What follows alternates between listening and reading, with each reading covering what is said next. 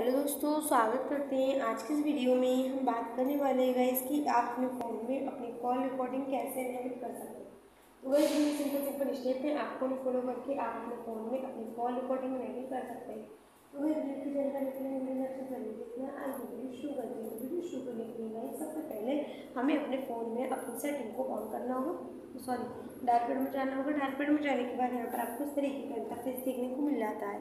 तो यहाँ पर आपको ऑप्शन देखने को मिल जाता है थ्री डॉट का। तो गाइस आप इस पर क्लिक करेंगे। क्लिक करने के बाद यहाँ पर आपको कई सारे ऑप्शन देखने को मिल जाते हैं। तो गाइज़ हम अपने फ़ोन में अपनी कॉल रिकॉर्डिंग इनेबल करना चाहते हैं तो उसके लिए आपको सेटिंग का ऑप्शन पर क्लिक करना होगा।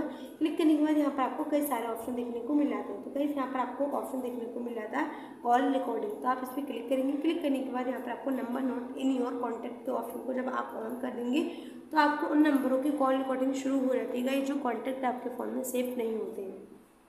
अगर आप चाहते हैं किसी पर्सनल नंबर की आपको कॉल रिकॉर्डिंग करनी है तो यहाँ पर आपको सिलेक्ट नंबर के ऑप्शन पे क्लिक करना होगा। यहाँ पर आपको ऑलवेज रिकॉर्ड सिलेक्ट नंबर के ऑप्शन को ऑन कर चुके हैं हम और यहाँ पर आपको चूज़ ए कॉन्टेक्ट का ऑप्शन देखने को मिल जाता है। तो आप इस पर क्लिक करेंगे और अपना नंबर सेलेक्ट करके उस नंबर की कॉल रिकॉर्डिंग कर सकते हैं। तो गए इस तरीके से आप अपने फ़ोन में अपनी कॉल रिकॉर्डिंग इनेबल कर सकते हैं। तो अगर वीडियो पसंद आई हो तो शेयर करें लाइक करें चैनल पर नए हो तो चैनल को सब्सक्राइब करें। मिलते हैं अगली नेक्स्ट वीडियो में, तब तक के लिए bye bye and take care